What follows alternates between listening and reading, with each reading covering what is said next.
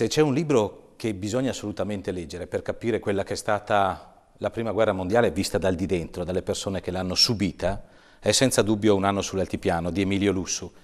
E se c'è un libro che bisogna assolutamente leggere per capire che cosa è stato l'olocausto, dalla parte di chi c'è stato dentro, anche se con una testimonianza tutta particolare, è senza dubbio il libro L'ultimo Sonderkommand italiano di Enrico Vanzini, o meglio, curato da Roberto Brumat, che ha, per così dire, agevolato, signor Enrico, la sua grande eh, voglia, sì. dopo tanti anni di silenzio, sì, di raccontare.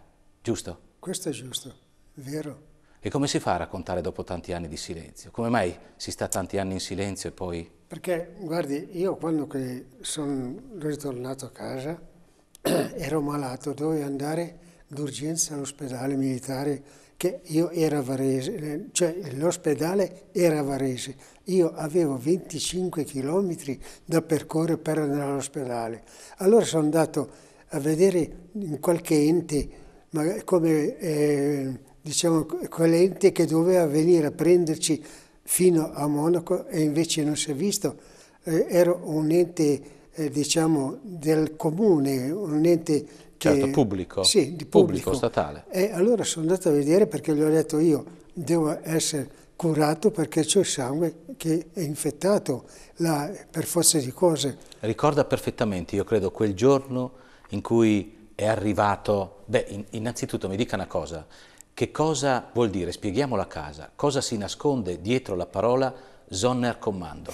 Cioè era che noi eravamo comandati di fare ciò che facevano due, diciamo, veramente due che erano alla, ai forni crematori. Questi due erano due normali, due mili prigionieri militari? No, no, erano civili che facevano quel lavoro in questi, in questi forni. Forni crematori? Crematori. Campi di concentramento? Sì, a Dachau. E quindi questi sono stati trasferiti, dovevano essere trasferiti a Monaco per altre mansioni. Allora ci hanno obbligati noi a fare quello che facevano loro, cioè praticamente si doveva fare buttare questi poveretti, questi cadaveri che erano dentro il lager nei forni crematori perché volevano distruggere più che potevano ciò che avevano fatto. Lei ha visto delle cose che senz'altro l'hanno segnata e che hanno fatto sì che per 60 anni, come dicevamo prima, ci fosse silenzio. Sì. Poi lei ha capito che invece bisognava con fatica riaprire quella ferita, no? Parlarne. Sì. Giusto? E allora, sì, perché io, a dire la verità, sono stato 60 anni senza mai parlare, perché, come ho detto, che non c'era nessuno che ci aiutava. E allora, su questo caso, io è stato una volta che dovevo fare delle punture perché avevo tutti i dolori delle batoste che si è preso e quindi sono andato da un'amica di casa che prima faceva l'infermiere, era, diciamo che era in pensione e sapevo che faceva le punture come si voleva. E allora sono andato a farle. In quel mentre lei, questa donna, aveva due ragazze che faceva, una faceva la maestra a Tezzi Sobrenta, l'altra invece era, faceva la maestra a Cittadella.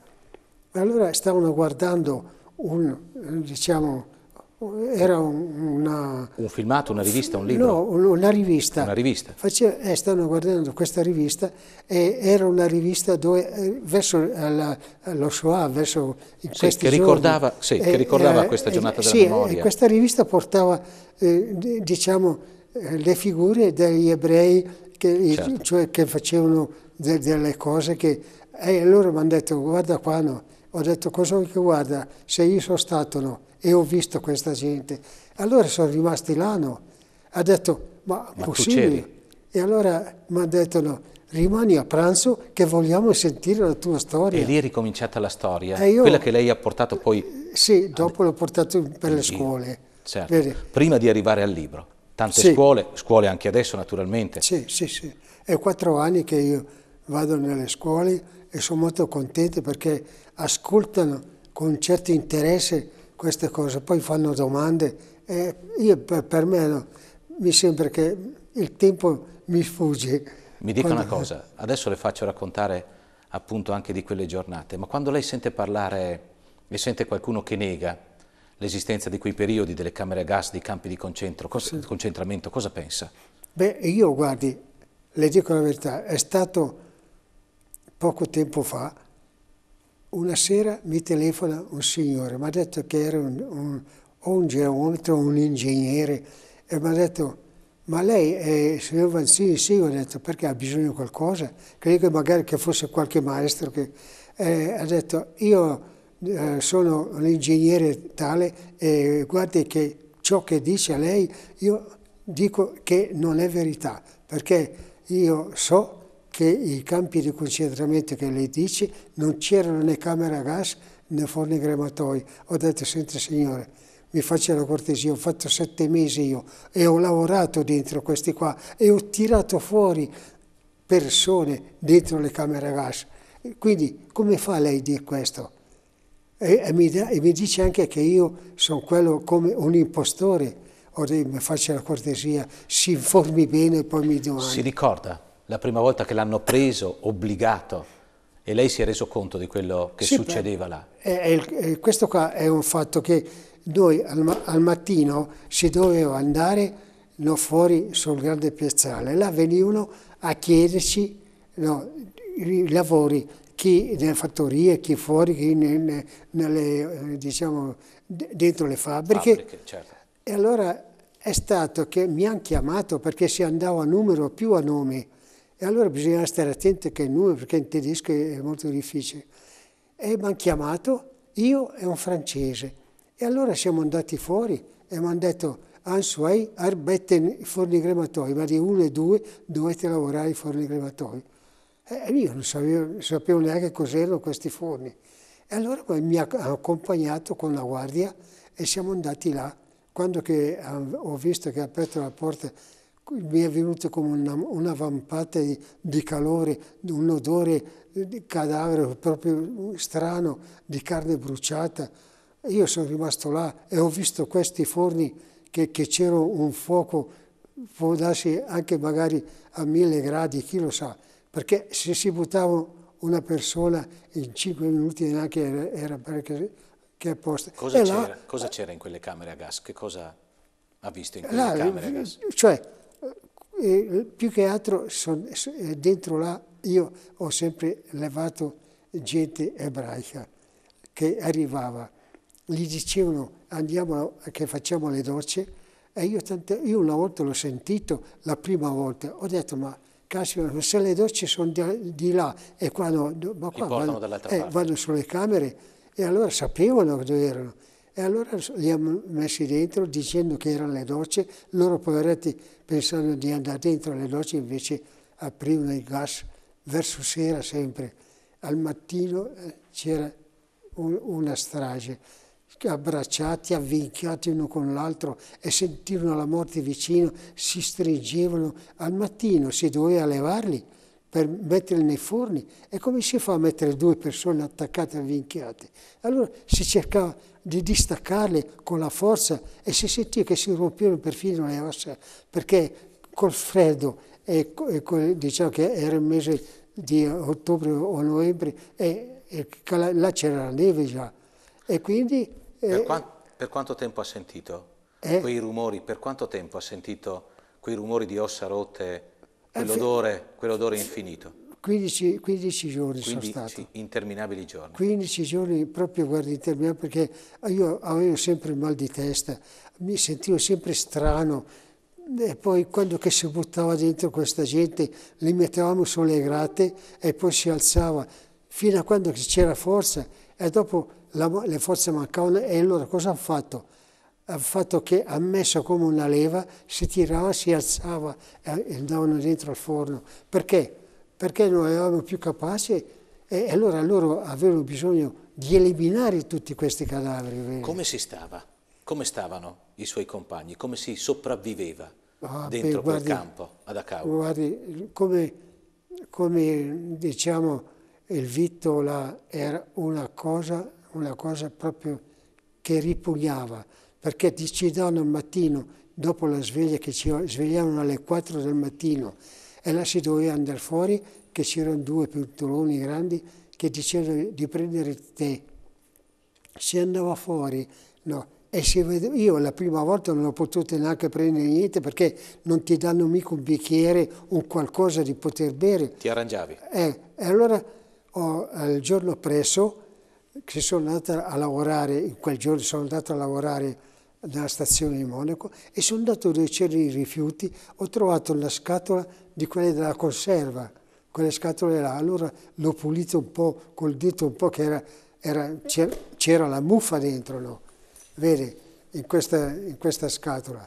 E allora eh, ho preso al mattino presso, ho detto voglio vedere cos'è questa roba, perché era color verde, c'era perfino la schiuma verde sopra. E allora sono andato là, l'ho presa, ho fatto per berla, mamma mia. C'erano tanti militari con lei? Eh? C'erano tanti militari con lei, ricorda?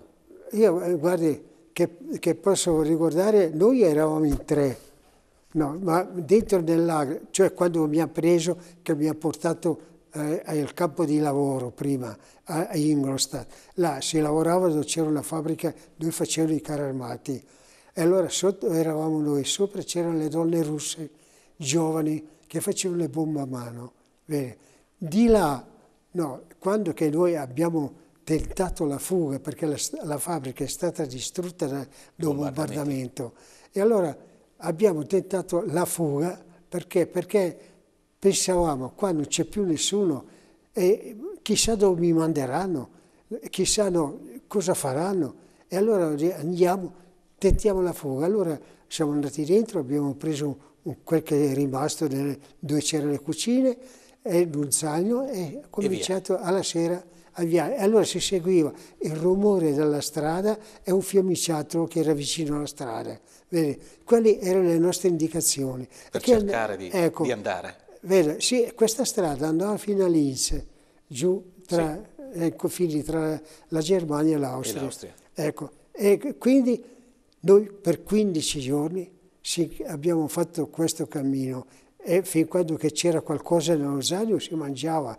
e dopo bisognava mettere qualcosa nello stomaco. Allora si prendevano patate crude, si lavavano dentro, dentro questo coso, si mangiavano crude, qualche carota. Dopo l'8 settembre, eh. dopo la Grecia, dopo questo tratto di prigionia, lei riesce a tornare a casa, poi una vicenda particolarissima la obbliga ad un cambio completamente, la riportano via, i tedeschi la prendono e c'è un fatto particolare, c'è quel fatto per cui la sua vita potrebbe essere cambiata, perché c'era il portone di esecuzione. Sì, là, là quando, quando c'ero, là è stato così, che noi dopo 15 giorni che si camminava, una sera abbiamo visto da lontano, sempre che ci sono pianure, terreni, come una casupola, e allora si pensava che dentro là ci fossero dei contadini che ci possono aiutare un po'. Sì, dei civili, certo. E siamo andati là, invece è venuta fuori una ragazza, questa qua, e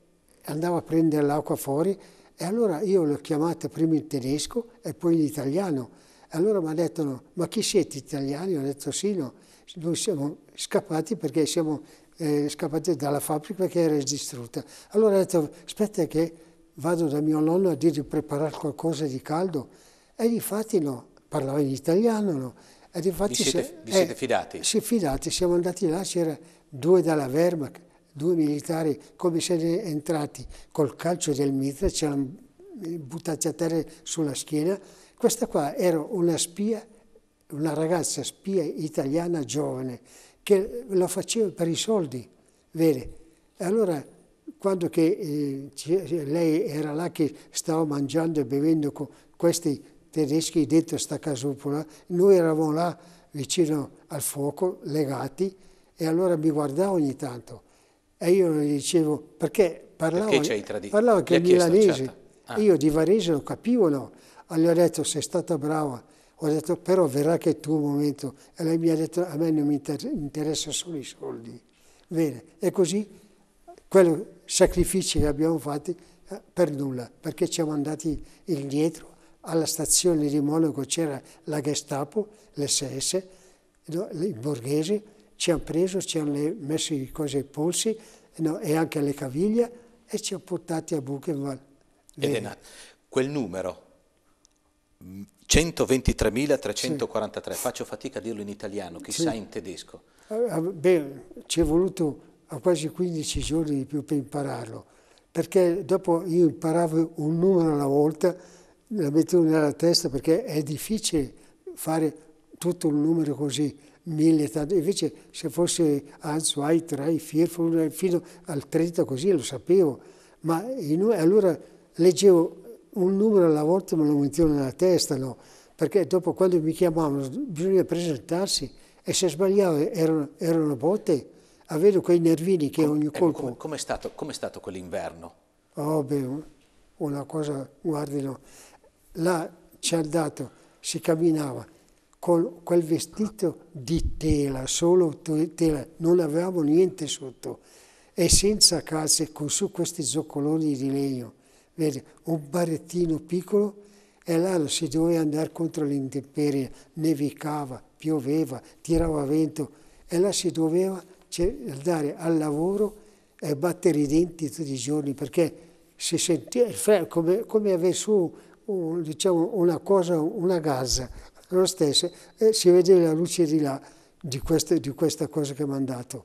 E, e l'inverno, là nevica molto, nevica, e là si doveva per forza, non c'era nessuno, non ti davano neanche un fazzoletto, tanto per dire, vero? C'è stato un momento in cui naturalmente lei è rimasto profondamente turbato da quello che stava succedendo. Sì, è, st è stato quando che lavoravo sui forni crematoi, io sul lato non, non osservavo bene questo perché mi aiutava, io aiutavo lui per mettere su i, i canali in due, eh, sì. in due, uno davanti e uno dietro e vedo questo, questo tipo, questo francese che lavorava con me, dopo un po' vedo, proprio sono rimasto là perché ho visto che gli faceva il segno della croce, no? a uno, a tutti quei poveretti che metteva su per, prima di buttarli nel forno. E io sono rimasto là. Allora, dato che non, non sapevo il francese, lui lo sapeva, tanto gli, si andava eh, dicendo a segni. Ho detto, eh, tu cosa, co, cosa fai? Fai il segno della croce? Che eh, ha fatto, eh, ha detto, eh, eh, non, pa, parroco, ha detto niente, parroco, io eh, come dire, questo, questo poveretto no, non ha nessuno, è, è, anche giusto no, che gli faccio come, se, come benedirlo e fa, gli faccio il segno della croce no, prima di buttarlo in questo inferno. Mi ricordo che quel giorno là c'era 20 centimetri di neve nevicava, era una domenica. E allora eh, arriva un carro perché alla domenica e a sabato mandavano in giro i carri trainati da noi poveretti che non avevano manco la forza, con su magari 20, 30, 40 morti. E questo carro è passato dall'infermeria per ultimo perché veniva verso i forni e ha caricato 5-6 persone. E io sono andato fuori con questo francese che mi aiutava e ho preso i primi di dietro e quando ho preso questo qua mi sembrava ancora come tiepino, mi sembrava non proprio quel freddo Della di morte, morte. No? E allora ho detto, madonna, l'ha portato dentro, io e l'altro l'ho messo sulla grata e fuori c'era la neve fresca, mi si è attaccato la neve sui zoccoloni di legno e come ho messo questo corpo, no, io sono scivolato e sono andato con la, con la testa quasi sul corpo, no? E sentivo, ho detto, ma questo qua è ancora vivo, sentivo gli ultimi battiti del cuore sentivano. Io sono rimasto là, ho detto, ma madonna, ma questo qua poteva vivere ancora?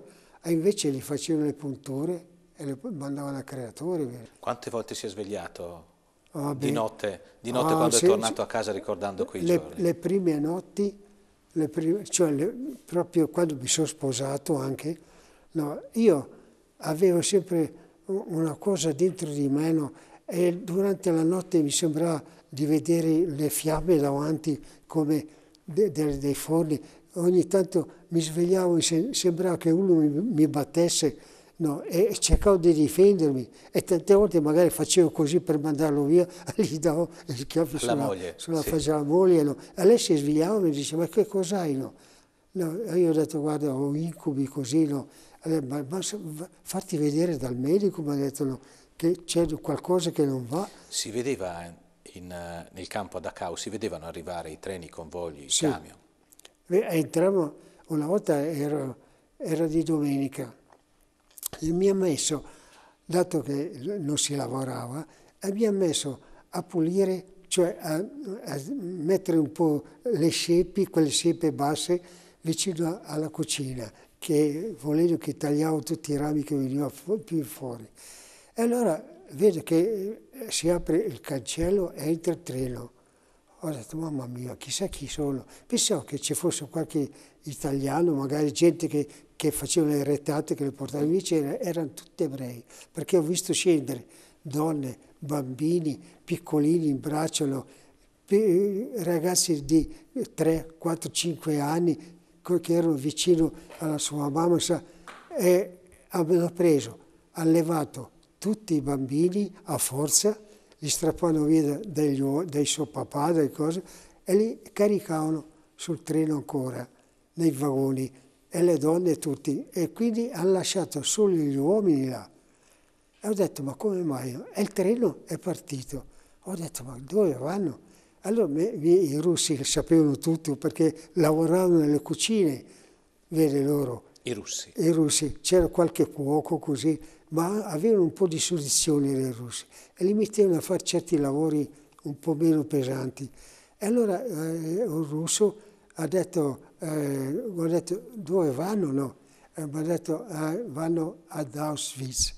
No, là è, è il concentramento dei rebei, dei, degli, ebrei. degli ebrei. E allora no, eh, ho detto mamma mia, è vero questi uomini che gli danno, i, i tedeschi gli danno pezzi di pane, no, cose come formaggio, ho detto a noi ci fanno morire, e qua come mai che ci danno? E poi vede che entra un camion, un camion de, della, della Wehrmacht, no, militare, e si gira e si mette dalla parte di dietro, Del cassone, sì. verso questi, aprono, tirano sul telone e là c'erano due mitragliatrici e, ho cominciato a sentire sparare tutti quei poveretti massacrati. E dopo c'era chi si lamentava che era ferito, che non, e allora cosa faceva? Passava, passava un comandante là, un, un capo, e con la pistola gli sparava C'è stato testa. un momento in cui ha detto di qua non esco vivo? Eh? C'è stato un momento in cui ha detto di qua non esco ah, vivo? Oh, beh, guardi, appena quando ho cominciato a vedere che era un mese o due che ero dentro, che cominciavo a sentire il declino della vita proprio, no?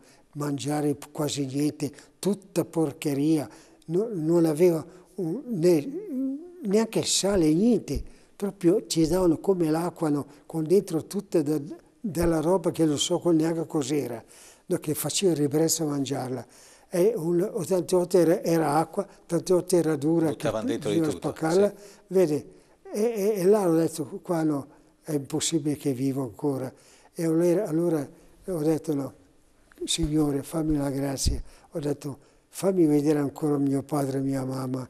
No, si, si, si, si, si aggrappava a un qualcuno, a qualcosa che nella mente ci venivano. E allora chi era? Era Dio Chissà. oppure la mamma? Perché la mamma era sempre quella che per primo si nominava, vedi?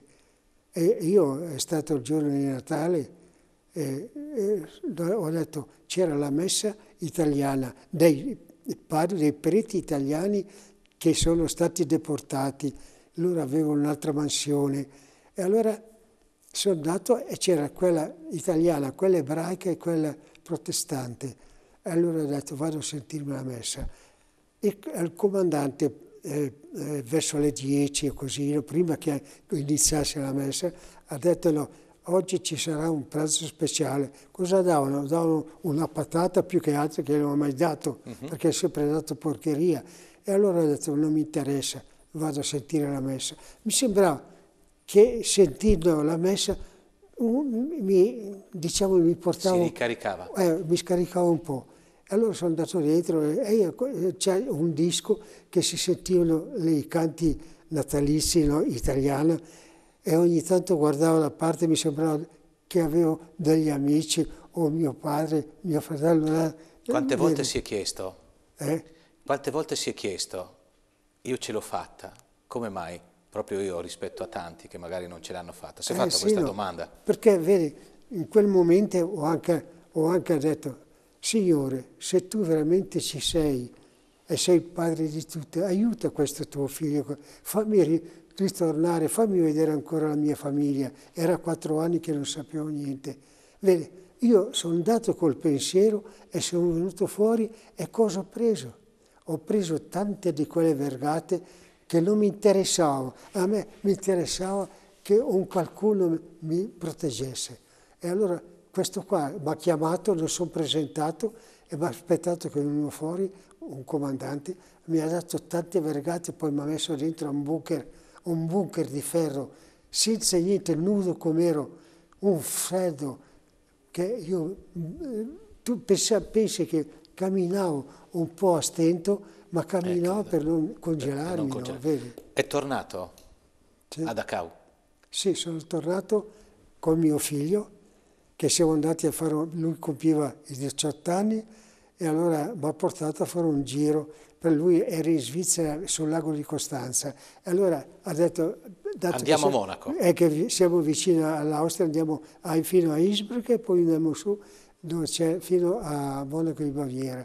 Ho detto, madonna, Monaco, a pochi chilometri c'è da Cao, E allora ho detto, andiamo fino a Dachau. Lui mi ha detto, ma cosa c'è da Dachau?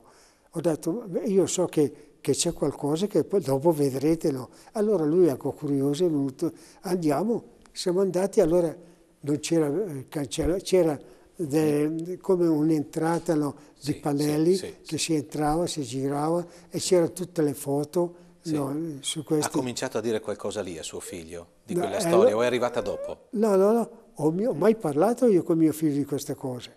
Mai. Siamo andati dentro io mi sono fermato dove c'era la baracca perché li hanno tutti, tutti eh, bruciati quelle baracche, ma i Però, numeri ci sono e anche i segni. Se la ricorda bene. Ecco, e là no, sono fermato a guardare e ho detto quanto ho sofferto qua dentro tra me e me. No. E lui mi diceva andiamo, cosa fai là? Ho detto vengo, vengo. Difatti loro andavano verso la chiesa protestante per vedere che era proprio in faccia e io ho cercato di andare dove c'erano i forni che erano di dietro e allora loro dicevano vieni a vedere qua, ma no, ma non mi interessa, di, vado di qua io. Allora fa, allora aspetti che veniamo anche noi, ho detto andate dopo no. E infatti sono venuti là e io l'ho portati, apriamo la porta dei forni, ho detto ma cosa cosa facevano qua? Cosa bruciavano? Lei lo sapeva bene? Eh, e ho detto, ma eh, vedi, questi eh? Sono forni? Sì, sono, sono forni, ma sono mica forni per fare il pane?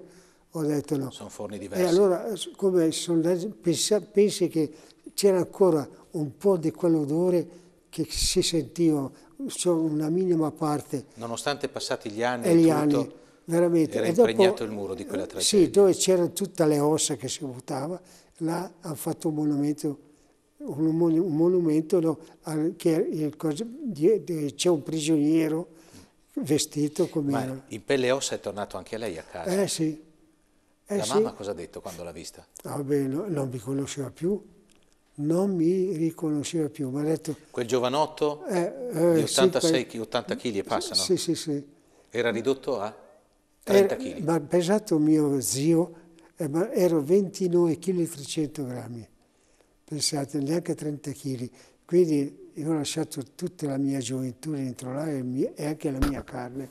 E quindi io sono arrivato a casa, mia mamma è venuta là e non mi conosceva.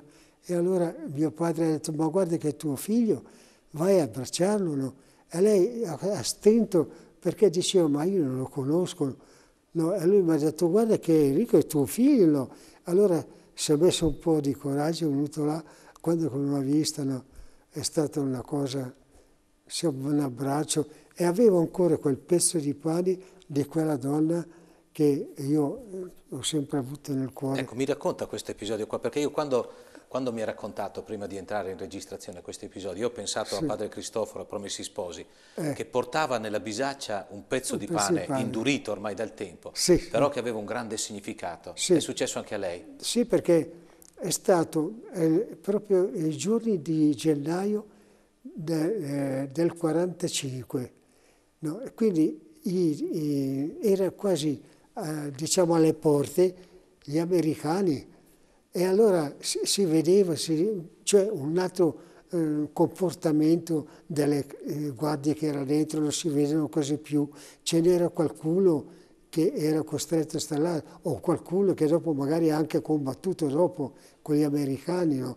E quindi questi qua no, mi, ci hanno chiamato fuori, e si, ci hanno incolonato una quindicina, si andava in una fattoria vicino, che, una fattoria che là si prendeva, si mangiava un pezzo di pane, un, un po' di, di, patata calda. Sì, vi hanno portato comunque a lavorare. A lavorare. E quindi io non sono mai stato, nel tempo che sono stato dentro, ho sempre fatto lavori pesanti. E allora eh, ci incoloniamo per andare e vado fuori di questo cancello dopo ho fatto 20 metri e vedo che c'era una donna che poverina cercava di correre un po' di più di noi per, per arrivarci, no?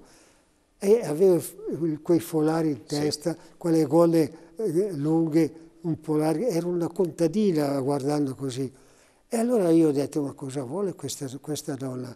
Ho detto, ma speriamo, perché avevo paura di quello che ci accompagnava.